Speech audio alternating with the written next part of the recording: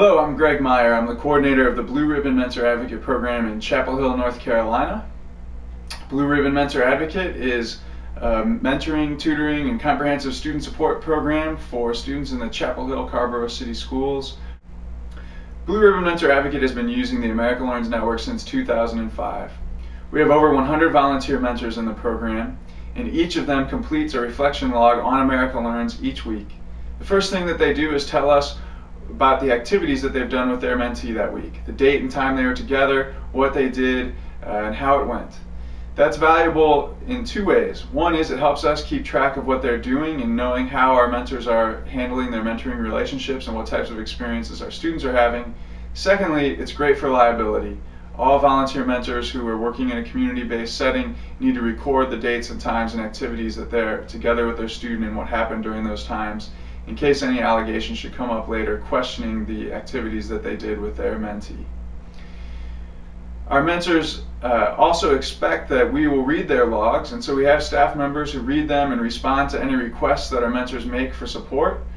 We'll also be looking out for red flags or other things that a mentor might talk about that we know uh, might be headed in the wrong direction, and we can give them a tip ahead of time and say, hey, we heard that this type of thing is going on. Here's some strategies that might help you for trying to avoid trouble or to uh, handle anything difficult that's going on in your relationship right now.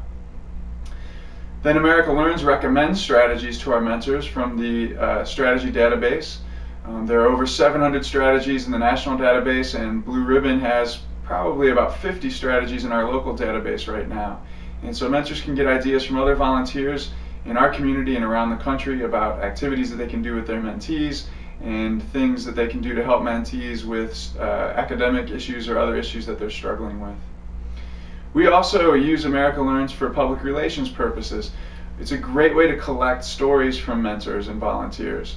And so if we find something that a mentor has done one week that we think is an outstanding example of mentoring or something that's a great positive story, we'll take it from America Learns and post it onto our blog. And that way we have a first person story from a volunteer about something positive in the community. It helps us recruit other mentors and we feel like it's just important to put out positive stories about our kids so that the community has a positive image of the students that we serve. When we ask our mentors what they like about America Learns, they certainly like the strategies that are available to them. They love having resources that other mentors have created. But one thing that they also talk about is they like reflection questions. Our mentors seem to really appreciate having the opportunity once a week just to think about how their relationship is going and to answer some specific reflection questions that are on America Learns that we rotate to them maybe one question a week about what are you doing to support your mentee's strengths and interests? What have you gotten out of the mentoring relationship? How do you think your mentee has grown since you started working with him or her? They just seem to really appreciate the opportunity to reflect on their relationship for just a couple of moments, and they probably wouldn't do that, they tell us, if they weren't using America Learns. When I've talked with other programs about why they should use America Learns, I tell them that it's a very easy way to monitor your mentors. It's very efficient for us because we have over 100 mentors and only a couple of full-time staff people, and this is a great way to stay on top of what they're doing.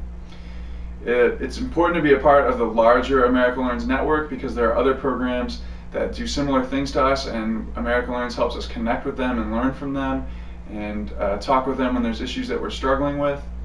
And then America Learns has amazing customer support. I've looked at some of the other similar programs that are out there, and I know that they don't come close to America Learns in terms of providing support.